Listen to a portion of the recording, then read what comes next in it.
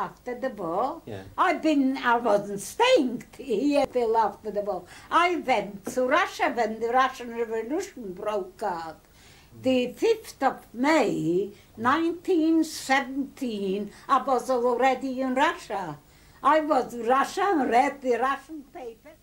I read it. And I find a paper they won't release knowing one anarchist today. So uh, how can I do? I put this paper, they could kill me for that. I stole it. And I came in the evening to the committee for Kropotkin's funeral. They, for the, you know, Kropotkin was in, in the uh, house a week in the high, uh, Dom Soyuzov. Dom is in the headquarters of the unions. The prisoners returned to prison after the funeral? Well, well, they didn't when we had a club, still one club there in Moscow. We had, and they spoke about the prisoners and others. And I remember, I forgot his name, who said, "We just today, this morning, we." Uh, uh, we buried uh, one comrade, and there tomorrow morning this comrades will bury themselves. They go back. You know, they go back. How many And people came- were at the funeral? I don't. I, I don't remember.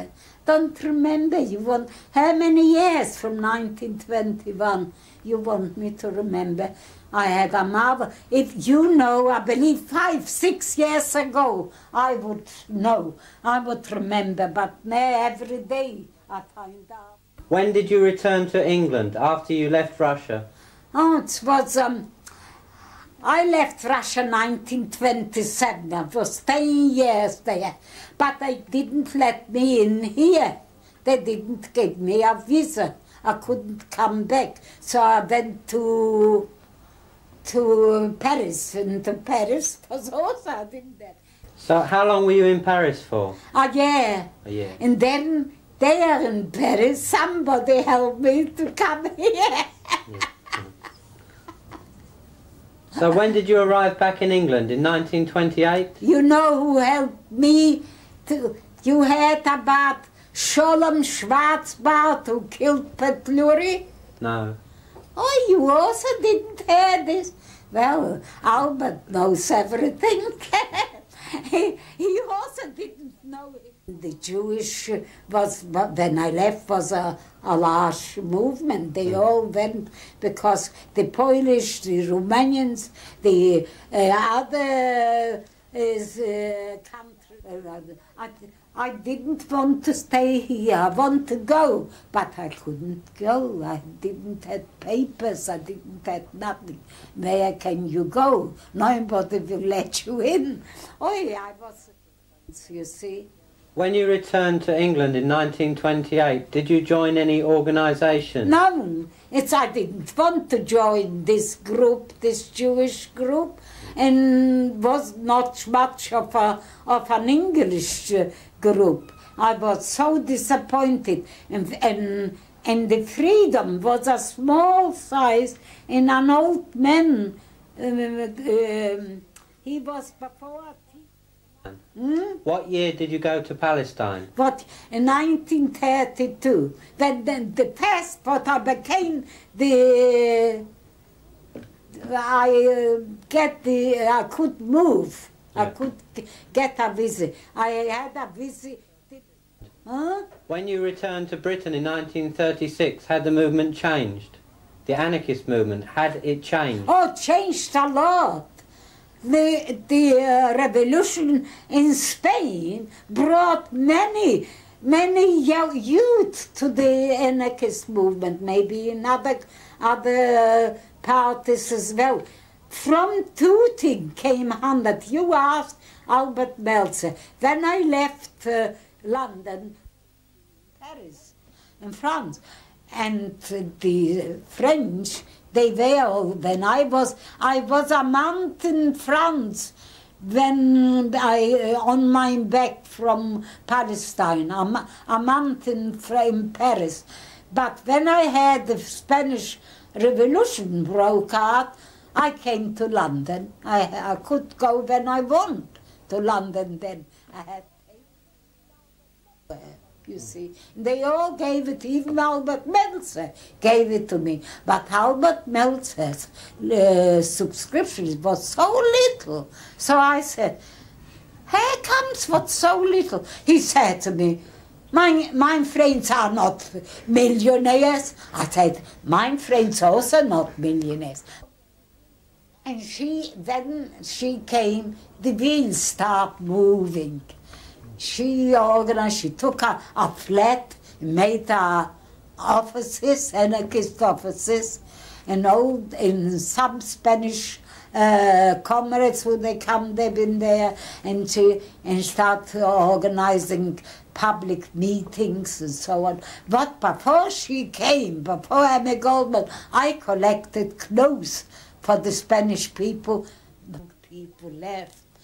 They, the English people like something, uh, what do you call, something that gives them a push. Yes.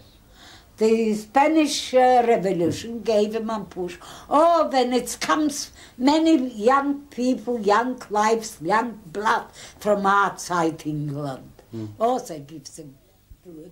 Do you speak about anarchism here? And they, the, the guards all, was military guards. Yeah. There they was. Was so when they had Rocker, they said, "I know Rocker," and with such a tune that it's uh, they um, uh, they know that's uh, they proud of it. They proud they knew. I remember I brought a parcel fruit. I find out you got to write it down on the parcel to whom. And when I write it down on the parcel, the guy told me, why didn't you tell me it's from Mr. Rocker? I knew Mr. Rocker. And with such a, uh, with the, his face was so lighted up that he's proud. And Kropotkin had. Yes, I didn't see Kropotkin. I've been here uh, three or four years. I came the end of 1913 and I left in 1917. How many years I was? Four. Four years. I didn't see Kropotkin. No one believed me when I said in Russia, I've been in England. You've been in England, you didn't see Kropotkin. I said no, because he didn't live in, in London. He was ill. He was ill. He lived in Brighton in a about Lord Kitchener, but I cared about these two Russians. And then they stopped. They didn't let women go uh, because uh, the Germans sunk the ships. So I was uh, uh, protesting. Men can be drowned, but not, why not women? They want to go to the Russian Revolution. Women's, sli- women's lives are dearer than the men. Then was already, so heck, don't listen to them.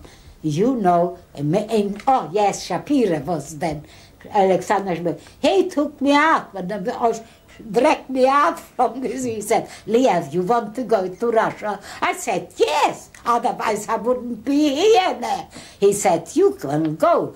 They will, they will move the ship till you will be done with ransom. uh, careful, you will. What is this? I got here from when I left. You can see the date. I got photographs when I left, and you can see the date when I came to England. This is art pictures, all art.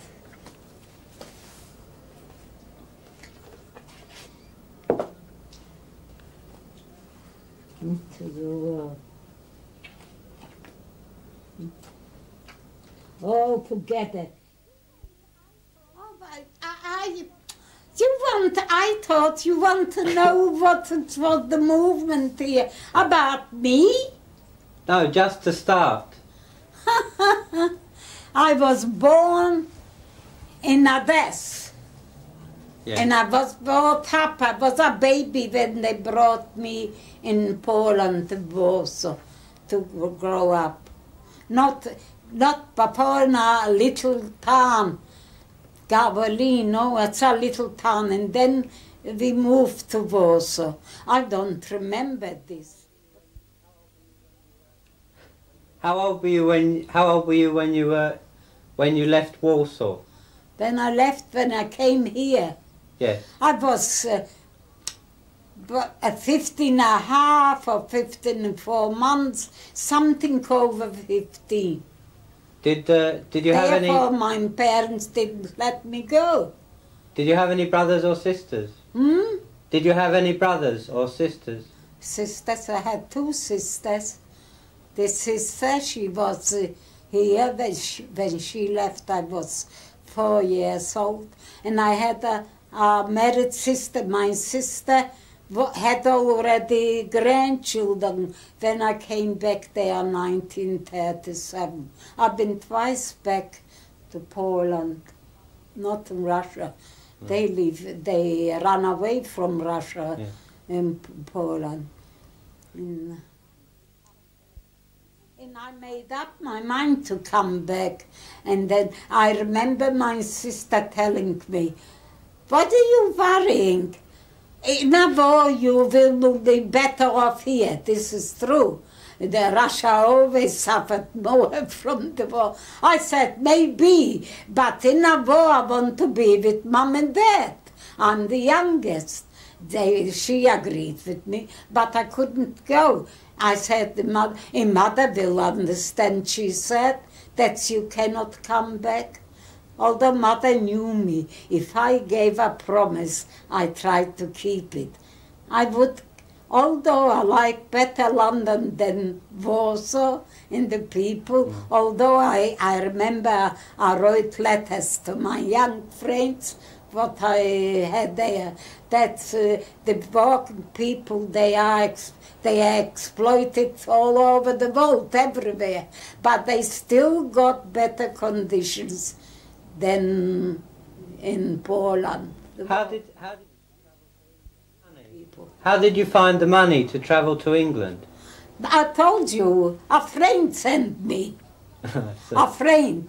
He was he was a rabbi's son. He ran away from home and came to Warsaw, a young man. He didn't want to be a rabbi. His older brother was a rabbi, and they would make him for a rabbi. He ran away. He was What year did you arrive in England for the first Ni- time? the end of 1913 in November. Was it cold? Well, I still got cards, but my friends just gave me when I left. And there is the uh, pictures and cards, the, uh, the date. Date. In, the November, I still was in Poland because they, uh, it's, it's there. It must be the last days of November I came. And it's was for nearly two weeks, all raining and in fog. Then was a fog terrible. People used to go in the street with torches in the daytime, not such a fog. So I once, when I've been by my sister, and I cried. I said, hey, can you be in a country where it's in the daytime no sun and in the night, in the evening, no stars? And there was a friend of hers, she, they both started laughing. They said, Did you become an anarchist in Poland or in England? I You. mean, I was, but I, know, I was not known to me. I was an anarchist, but I didn't know. Many people, they are anarchists and they don't know. They cannot give it a name till they, uh, or by accident, or by, uh, what do you call it, something uh, gives you a push what you don't know. If I would stay with my sister or with my nuns, I, may, I never would maybe find out. Mm. But when I stayed with this comrade, he had a big library from all the languages. I couldn't speak. I don't understand. And I didn't know why. But when I became an anarchist, I I, I, I knew why it's done. I don't like leaders, although I wasn't an anarchist. I didn't know why I don't like him, although they old and they got a lot of experience. But I didn't like them to dictate me to, to do this, do that, don't do this, don't do that. I hate this. I didn't know. It wasn't me. Many anarchists here told me, it was born in you. I said, maybe but I didn't.